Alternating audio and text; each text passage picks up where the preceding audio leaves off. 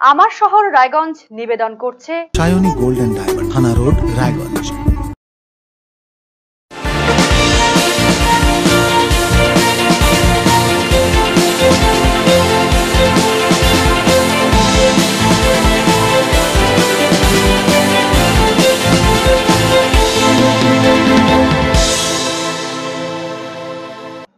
নমস্কার দেখছেন আরসিটিভি সংবাদ। আমার শহর রায়গঞ্জ নিয়ে আপনাদের সঙ্গে আমি রিজু। প্রথমে যে খবর দিকে চোখ রাখব। রায়গঞ্জ রেল স্টেশনে মানোন্নয়ন পর্বে নয়া উদ্যোগ। স্টেশনে চালু হলো সুষ্ঠু পার্কিং পরিষেবা। শুক্রবার থেকে ই টেন্ডারের মাধ্যমে পরিষেবার সূচনা হয়। প্রসঙ্গত, এতদিন স্টেশনে আসা যাত্রীরা গাড়ি পার্কিং নিয়ে সমস্যায় পড়তেন। কেননা, দু নম্বর প্ল্যাটফর্মের বাইরে বিভিন্ন ছোট বড় গাড়ি ছড়ানো ছেটানো অবস্থায় থাকতো। যাত্রী ছাড়াও সাধারণ মানুষ অপ্রয়োজনে সেখানে গাড়ি পার্কিং করে রাখতো। যার জেরে জটলা তৈরি হতো সেখানে সেদিকে তাকিয়ে যাত্রী সাধারণের কথা মাথায় রেখে নির্দিষ্ট জায়গা চিহ্নিত করে পার্কিং এর ব্যবস্থা করা হয়েছে স্টেশন মাস্টার রাজকুমার জানিয়েছেন এই পরিষেবা পরিচালনা করবে বরাদপ্রাপ্ত এজেন্সি ফলে উপকৃত হবে সাধারণ মানুষ जो हमारा रेलवे का सर्कुलेटिंग एरिया है प्लेटफॉर्म नंबर एक और दो के तरफ वहाँ पर लोगों की सुविधा के लिए रेलवे के तरफ से पार्किंग कॉन्ट्रैक्ट किया गया है इससे यात्रियों को सुविधा मिलेगी और वो अपने वाहन को सुरक्षा के साथ रख पाएँगे निश्चिंत होकर। वो अपना वाहन को सही तरीके से लगा पाएँगे, पार्किंग कर पाएँगे आने जाने में उनको दिक्कत नहीं होगी, वाहन सुरक्षित रहेगा। जो भी यात्री आएँगे, गाड़ी पकड़ने या शी ऑफ़ करने तो उनकी सुविधा के लिए रेलवे ने आज से रायगंज रेलवे स्टेशन में सर्कुलेटिंग एरिया प्लेटफॉर्म नंबर एक और दो, दोनों तरफ़ पार्किंग की शुरुआत की है। हाँ हाँ एक एजेंसी को हमने दिया है, वो पार्किंग का काम करेंगे आज से। অন্যদিকে বরাদপ্রাপ্ত এজেন্সির প্রতিনিধি দেবাশিস দে জানিয়েছেন, রেল কর্তৃক যে পার্কিং ফি ধার্য করা হয়েছে, যেখানে সাইকেল, প্যাডেল রিক্সা এবং ব্যাটারি চালিত রিক্সার জন্য দু টাকা, মোটরসাইকেল এবং স্কুটারের জন্য পাঁচ টাকা, অটোর জন্য দশ টাকা, শুধুমাত্র চার চাকা গাড়ির জন্য এন্ট্রি ফি কুড়ি টাকা এবং ঘণ্টা পিছু অতিরিক্ত দশ টাকা করে ধার্য করা হয়েছে। বিষয়টা রায়গঞ্জবাসীর মানুষের সুবিধার্থে আজকে রেল থেকে এটা ই টেন্ডার করেছে, সেটাকে আমি নিয়েছি।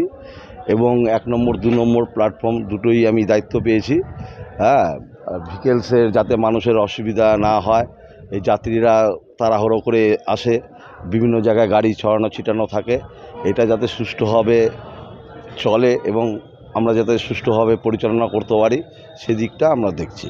ভিকেলসের সাইকেল আমরা সরকারিভাবে যেটা রেল রেট করেছে, সেটা হচ্ছে দু টাকা। হ্যাঁ রিক্সা দু টাকা করেছে। হ্যাঁ ব্যাটারি রিক্সা দু টাকা মোটর সাইকেল পাঁচ টাকা, স্কুটার পাঁচ টাকা, অটো রিক্সা হচ্ছে দশ টাকা, আর ফোর হুইলার হচ্ছে কুড়ি টাকা। ফোর হুইলারটা হচ্ছে ওটা ঢুকলেই এন্ট্রি ফি কুড়ি টাকা, তারপরে ওটা ঘণ্টা হিসাবে আরও দশ টাকা করে ওটা বাড়বে। বিশ্বকর্মা পুজো ঘিরে কর্মব্যস্ততা তুঙ্গে কুমোরটুলিতে। রায়গঞ্জের একাধিক কুমোরটুলি থেকে উঠে এলো সেই চিত্র। একদিকে দুর্গা প্রতিমা নির্মাণের কাজ, তার মাঝে দেবশিল্পীর আরাধনা। বাড়তি চাপে মৃৎশিল্পীরা। সকাল থেকে গভীর রাত পর্যন্ত কাজ করতে হচ্ছে। হাতে আর দুদিন বাকি। আগামী সোমবার অনুষ্ঠিত হবে শিল্পকর্মে দেবতা বিশ্বকর্মা পুজো। আর মাত্র দুদিন বাদেই বিশ্বকর্মার পুজো। দেবশিল্পীর আরাধনায় মাতবেন আপামর মানুষ। বিভিন্ন কলকারখানা, ব্যবসায়িক প্রতিষ্ঠান, মোটর স্ট্যান্ড, কারিগরি প্রতিষ্ঠান কিংবা বাড়িতে বিশ্বকর্মা পুজোর আয়োজন করা হয়ে থাকে। এবছরে আঠারোই সেপ্টেম্বর অর্থাৎ সোমবার হবে পুজো। তাই চতুর্দিকে পুজো স্থলে যেমন মণ্ডপসজ্জার কাজ চলছে, তেমনই ব্যস্ততা তুঙ্গে কুমোরটুলিতে। বিভিন্ন জায়গার পাশাপাশি একই ছবি রায়গঞ্জ শহরেও। শহরের একাধিক কুমোরটুলিতে চলছে প্রতিমা গড়ার কাজ। প্রসঙ্গত সামনেই আসছে বাঙালির শ্রেষ্ঠ উৎসব শারদিয়া। তার আগে বিশ্বকর্মা পুজো ঘিরে প্রতি বছরই থাকে বাড়তি চাপ। দুর্গা প্রতিমা নির্মাণের মাঝেই বিশ্বকর্মা প্রতিমা ডেলিভারি দিতে গিয়ে কালঘাম ছুটে যায় মৃৎশিল্পীদের। এবারেও সেই একই পরিস্থিতি। দিনরাত এক করে কাজ চলছে। ছাঁচের প্রতিমার পাশাপাশি ছোট মাঝারি এবং বড় সব ধরনের মূর্তি তৈরি করা হচ্ছে। নির্মাণ কাজ এখন প্রায় শেষ। ইতিমধ্যে প্রতিমার ডেলিভারির কাজও শুরু হয়ে গিয়েছে। যাকে ঘিরে পুজো পুজো গন্ধ ছড়িয়েছে আকাশে বাতাসে। রায়গঞ্জের মৃৎশিল্পী রাজকুমার পাল বলেন, এখন ব্যস্ততা শিখরে পৌঁছে গিয়েছে। সকাল থেকে গভীর রাত পর্যন্ত কাজ চলছে। দিন যত এগোচ্ছে, চাপ ততই বাড়ছে। তার মধ্যেই উৎসাহ নিয়ে কাজ করতে হচ্ছে। যদিও প্রতিমার চাহিদা মোটামুটি ভালোই রয়েছে বলে জানিয়েছেন রাজকুমার বাবু। চাকরিনা তো আছে, কিন্তু একটু লেবারের প্রবলেম টবলেম হয়ে গেছে কাজ কাম একটু সমস্যায় হয়ে গেছে। চাহিদা আছে মোটামুটি, চলছে মার্কেটে অনেক দূর দূর থেকে বিহার থেকেও আসে, তারপর কালিয়াগঞ্জ থেকেও আসে। চাহিদা আছে মোটামুটি ভালোই আছে। এই ব্যস্ততার মধ্যে সব তবুও কাজ কাম করতে হচ্ছে কাজ কাম তো করতে হবে ব্যস্ততার মধ্যে। দাম বলতে হচ্ছে বিভিন্ন রকম সাইজে বিভিন্ন রকম দামের আছে। এক রেঞ্জের তো আর ঠাকুর নেই যেরকম বড় মাঝারি ছোট যেরকম সেরকম দামটা কম বেশি ওরকমের মধ্যে। হ্যাঁ হচ্ছে। পছন্দের প্রতিমা কিনতে কুমোরটুলিতে ভিড় করছেন পুজোর আয়োজকরা। সাধন দাস নামের এক পুজোর আয়োজক বলেন অন্যান্য বারের তুলনায় এবারে প্রতিমার দাম কিছুটা বেশি। দ্রব্যমূল্য বৃদ্ধির কারণেই দাম বেড়েছে বলে মনে করছেন তারা। কিন্তু তবুও পুজো তো করতেই হবে। তাই পছন্দের প্রতিমা কিনে নিয়ে চলেছেন পুজোস্থলের উদ্দেশ্যে। প্রতিমা নিতে দাম দর এখনও হয়নি দেখব পছন্দ করব অন্য বছর থেকে একটু বাড়তি জিনিসপত্রের দাম বেশি এর জন্যই। আরসিটিভি সংবাদ রায়গঞ্জ। দুই শিশুর মধ্যে কথা কাটাকাটি নিয়ে ঝামেলায় জড়ালেন অভিভাবকরা। ইতিমধ্যে থানায় লিখিত অভিযোগ দায়ের করেছে এক মহিলা। ঘটনায় ব্যাপক চাঞ্চল্য ছড়িয়েছে রায়গঞ্জ শহরে। মহিলার অভিযোগ, তার ছেলে বিশেষভাবে সক্ষম, তার শারীরিক এবং মানসিক হেনস্থা করেছে অপর এক অভিভাবক। এই ঘটনাটি ঘটেছে গত শুক্রবার দেবীনগরের বাসিন্দা অভিযোগকারী ওই মহিলা জানিয়েছেন, ওই দিন নির্দিষ্ট সময় উকিলপাড়া একটি কম্পিউটার সেন্টার ক্লাসে যায় তার ছেলে। ক্লাস শেষে নিচে দাঁড়িয়ে মায়ের জন্য অপেক্ষা করছিল খুদে। পড়ুয়া সেই সময় এক সহপাঠীর সাথে বাচ্চাটির কথা কাটাকাটি হয়। এর জেরে সহপাঠী বাবা এসে মহিলার ছেলেকে শারীরিক এবং মানসিকভাবে হেনস্থা করে, তাকে ধাক্কা দেয় এবং ভয় দেখায় বলে অভিযোগ। মহিলা তার প্রতিবাদ জানাতে উভয় পক্ষের মধ্যে চলে বাগবিতণ্ডা। এরপর তারা সেন্টারের ভেতরে যান, সেখানে অভিযুক্ত অভিভাবক তার সঙ্গে দুর্ব্যবহার করেন বলে অভিযোগ। সেই সময় কম্পিউটার সেন্টার কর্তৃপক্ষ কোনো প্রতিবাদ করেনি। মহিলা দাবি, এই ঘটনার পর তার বিশেষভাবে সক্ষম ছেলে ট্রমায় চলে গিয়েছে। সে আর কম্পিউটার সেন্টারে যেতে নারাজ। এর জেরে রায়গঞ্জ থানায় লিখিত অভিযোগ দায়ের করেছে নিগৃহীত শিশুর মা।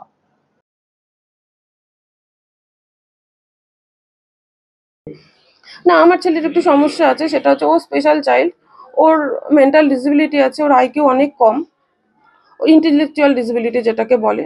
এবার গত শুক্রবার আট তারিখে ও কম্পিউটার শিখতে যায়, বলে উনি বকাবকি করছিলেন, সেই মুহূর্তে আমি ওখানে গিয়ে পৌঁছাই।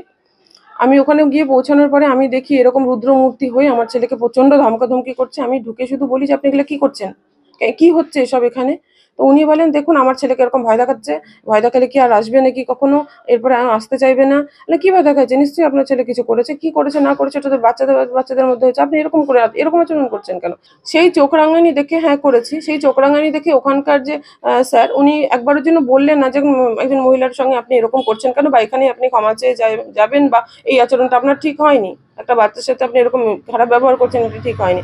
আমি তারপরে শুক্রবারে আমার ছেলে টমার মধ্যে থাকে প্রচণ্ড জ্বর চলে আসে, সারা রাত ও ভয়ে মানে কুকড়ে ছিল, খুব মানে উল্টোপাল্টা কথা বলে গেছে, আমাকে ছেড়ে দাও, আমি কিছু করিনি, আমাকে মারবা না, মা আমাকে ছেড়ে যাবা না, এই চলতে থাকে গোটা রাত। পরের দিন আমি বাধ্য হয়ে থানায় যেতে। অভিযোগ আমার অবশ্যই সেই গার্জেনের নামে যে একজন অন্যের, আমি পারি না অন্যের বাচ্চাকে মারতে, আমি পারি না অন্যের বাচ্চার গায়ে হাত দিতে। যদিও অভিযোগ অস্বীকার করেছে অভিযুক্ত না না না না না না এটা ওনার ওনার আমি জানি না। উনি আজ কি কারণে এটা বলছে। আমি ওনার ছেলেকে না না না না এটা কোনো ঘটনাই ঘটেনি। এটা কোনো ঘটনাই ঘটেনি। আমি ওনার ছেলেকে কেন ধাক্কা দিতে যাব আর কেনই বা এটা কেন অভিযোগ করল আমি জানি না। তবে হ্যাঁ। হ্যাঁ হ্যাঁ সেটা আমার জানার কথা না। থানা থেকে যদি থানায় যদি অভিযোগ করতো তাহলে থানা থেকে আমাকে ইনফরমেশন করা হতো। আবার আমি যেতাম সেখানে। আমাকে থানা থেকে ডাকলে অবশ্যই যাব। অন্যদিকে যেহেতু শিশু নিগ্রহ বা হেনস্থার ঘটনাটি সেন্টারের বাইরে হয়েছে, সেক্ষেত্রে কোনো রকম ব্যবস্থা নেয়নি কম্পিউটার সেন্টার কর্তৃপক্ষ। তারা উদ্বেগ প্রকাশ করেছেন এ বিষয়ে। এবং সেটা যেহেতু আমার প্রিমিসিসের বাইরে, যেহেতু আমি দেখিনি, তো এই বিষয়ে আমার কিছু বলার নেই। আর যেহেতু দুজন বাচ্চা, এটা চাইল্ড বাচ্চা, সেই জন্য আমি এইটুকু, এইটুকুই বলব যে বাচ্চারা যেন মানে সুস্থ থাকে, স্বাভাবিক থাকে, আমাদের এক বছর ধরে বাচ্চাটা করছে এবং খুব সুন্দর বাচ্চা এবং দুজনেই ভালো। দুজনেই এবার ভেতরে আমাদের প্রিমিসিসের সেন্টার থেকে বাইরে গিয়ে কি হয়েছে সেটা আমার দেখিও নি আর সেটা সম্বন্ধে আমরা জানিও ঘটনা তদন্ত শুরু করেছে রায়গঞ্জ থানার পুলিশ। আর প্রায় মাসখানেক বাদেই পুজোর আনন্দে মাতবে আপামর বঙ্গবাসী। চতুর্দিকে চলছে তারই প্রস্তুতি। বিগ বাজারে পুজো মণ্ডপগুলি খুঁটি পুজোর আয়োজন করা হয়েছে। শুক্রবার সেই ছবি লক্ষ্য করা গেল রায়গঞ্জের শহরের অদূরে অবস্থিত রূপাহার যুব সংঘের পুজো স্থলে এদিন পুরোহিতের পবিত্র মন্ত্রোচ্চারণের মধ্য দিয়ে রূপাহার যুব সংঘের খুঁটি পুজো অনুষ্ঠিত হয়, যাকে ঘিরে ঢাকের তালে কোমর দোলান এলাকার মহিলারা। পুজো উদ্যোক্তা সুব্রত চন্দ্র জানিয়েছেন, এবছর তাদের পুজো চুয়ান্নতম বর্ষে পদার্পণ করেছে। এবার তাদের থিম, এক চিলতে ভুটান, যদিও থিমের পুরো বিষয়ে কৌতূহল জিয়ে রেখেছেন উদ্যোক্তারা। মণ্ডপের কাজ করবেন ধূপগুড়ি শিল্পীরা, প্রতিমায় থাকবে সাবেকি রূপ, সঙ্গে থাকছে মানানসই আলোকসজ্জা। অন্যান্য বারের মতো এবারও তাদের পুজো আকর্ষণ কেন্দ্রবিন্দুতে থাকবে বলে আশাবাদী পুজো উদ্যোক্তারা। আমাদের আজকে চুয়ান্নতম বর্ষ দুর্গাপুজোর খুঁটি খুঁটি পূজা উৎসব। এখনই আমরা খুঁটি পুজো শেষ করলাম। এবার আমাদের চুয়ান্নতম বর্ষ। এবার আমাদের থিম হচ্ছে এক চিলতে ভুটান। আমাদের যিনি প্যান্ডেল ডেকোরেটরের দায়িত্বে আছেন, তিনি আছেন আমাদের ধূপগুড়িতে। আমরা বিগত কয়েক বছরের ন্যায়, এই বছরেও আশা আশা করছি যে প্রচুর দর্শক আসবেন আমাদের প্যান্ডেলে এবং তারা এসে আনন্দ উপভোগ করবেন আমাদের প্যান্ডেলে। প্রতিবারের ন্যায় আবার, এবারও আমরা সবাইকে আমন্ত্রণ জানাচ্ছি আমাদের পুজোটাকে সাফল্যমণ্ডিত করার জন্য। পুজোর আগে কেনাকাটি, হট্টমেলা, জমজমাটি। রায়গঞ্জ শহরে শুরু হলো হট্টমেলা। শুক্রবার এই মেলার শুভ সূচনা হয়। শহরের পৌরসভা কার্যালয় সংলগ্ন একটি অনুষ্ঠান ভবনে মেলার আয়োজন করা হয়েছিল, যার ব্যবস্থাপনা রয়েছে উত্তরে সম্পূর্ণ নামে একটি সংস্থা। যেখানে প্রচুর মহিলা ভিড় করেছিলেন মন পছন্দের জামা কাপড় গয়নাগাটি কিনতে। এখানে হাতে তৈরি নানান কারুকার্য, খচিত সামগ্রী, পসরা নিয়ে বসেছেন মহিলারা। শেষ পর্যন্ত মেলার সাফল্য কামনা করেছেন প্রত্যেকে।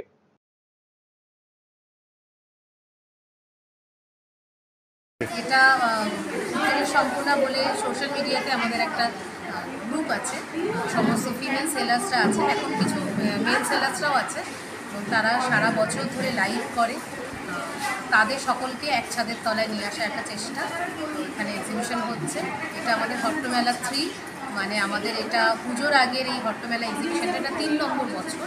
আমরা বিগত তিন বছর ধরে আর এই ধরনের প্রচুর এক্সিবিশন করি। সবটাই মোটামুটি এই একই পুজো নিয়ে, একই ভেন্যুতেই করা হয়। কতগুলো স্টল এবারে আছে? এবার আমাদের প্রায় পঞ্চাশের বেশি স্টল আছে। কি কি আছে স্টল এগুলোতে? সব রকম। হাতের কাজ থেকে শুরু করে শাড়ি কুর্তি জুয়েলারি খাবারের জিনিস ঘর সাজানোর জিনিস কিচেন আইটেম সব কিছু আছে। কদিন চলবে আপনাদের এই হট্টমেলা এক্সিবিশন পনেরো ষোলো সতেরো আজকে থেকে শুরু কীরকম আশা করছেন এবারের ব্যবসা কেমন হবে? এবারে তো খুবই ভালো মানে আমরা এক্সপেক্ট করছি। কারণ আমাদের প্রত্যেক বছরই এক্সিবিশন ভীষণ ভালো হয় প্রচুর সেল হয়। এবারে এক্সপেকটেশনটা একটু বেশি এবং যার জন্য এত প্রচুর পরিমাণ সেলার এখানে এসেছে। পুজোর আগে এই মেলা কি ভাবছেন? ভাবছি এটাই, সকলের পুজোটা যাতে ভালো যায়। সেলার্সদের যদি সেল ভালো হয় তবে পুজো ভালো লাগবে। সকলের কাছে অনুরোধ, আপনারা সকলে আসুন। প্রচুর প্রচুর কালেকশন আছে। শপিংয়ের একটা মূল জায়গা কিন্তু এইটা, উত্তরের সম্পূর্ণ হট্টমেলা সরকারি উদ্যোগে এবং সর্বশিক্ষা মিশনের নির্দেশে অনুযায়ী আটই সেপ্টেম্বর থেকে পনেরোই সেপ্টেম্বর পর্যন্ত চলছে নির্মল বিদ্যালয় পাক্ষিক অভিযান কর্মসূচি।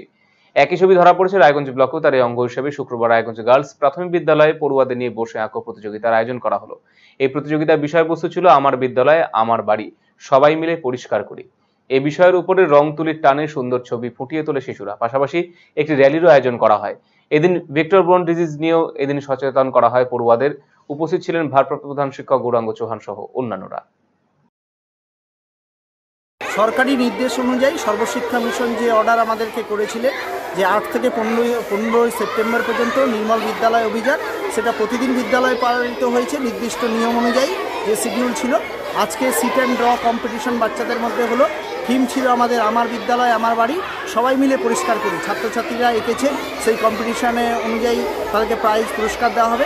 তাছাড়াও কমিউনিটি মানুষদের মধ্যে জানানোর জন্য যে ভেক্টর বর্ন ডিজিজ কী যেগুলো, যে যে রোগগুলো প্রাণী থেকে সরাসরি মানব দেহে যায় এবং মানব দেহ থেকে আবার প্রাণীদের মধ্যে ফিরে আসে, সেই রোগগুলো সম্বন্ধে ওদেরকে সচেতন করা হয়েছে। তারা সেই রোগগুলো সম্বন্ধে ছবি এঁকেছে এবং মানুষকে জানানোর জন্য আমাদের বিদ্যালয়ের পক্ষ থেকে থেকে একটি র্যালি এখন করা হয়। আমার শহর রায়গঞ্জ এখনকার মতো এই পর্যন্ত অন্যান্য সমস্ত খবরের জন্য চোখ রাখুন আর সংবাদে। নমস্কার।